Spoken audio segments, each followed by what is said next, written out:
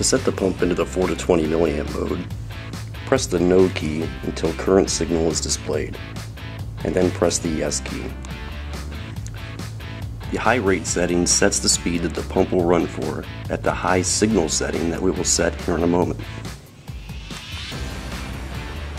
This means that the pump will run at 100% speed for the high signal setting.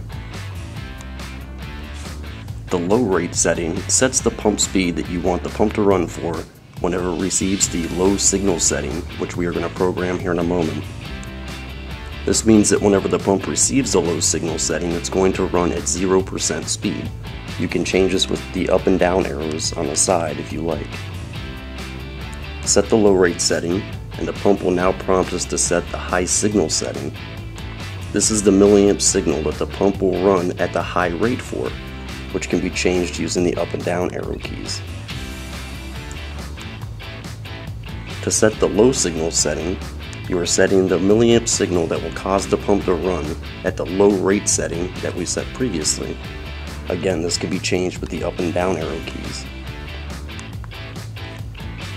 If you know what the milliamp signal is it's coming from the device that's controlling the pump, you can actually calibrate the pump to match the milliamp input signal. If we press yes, it'll tell us what the signal is that's being received and what we want the calibration value to be. Once the calibration is set, simply press the yes key. Then the pump will prompt us to run in the 4 to 20 milliamp mode. To run the pump in the 4 to 20 milliamp mode, simply press the yes key. The pump will then operate responding to the 4 to 20 milliamp signal as we just programmed it for. The pump displays that it's receiving 20.4 milliamps at the moment and running at 100% speed.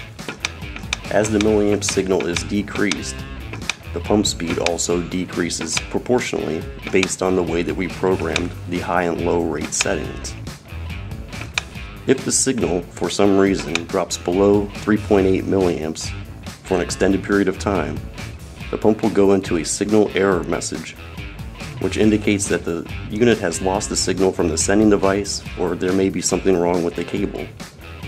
When the current signal is restored back to a normal reading, the pump will come out of that alarm and resume normal operation.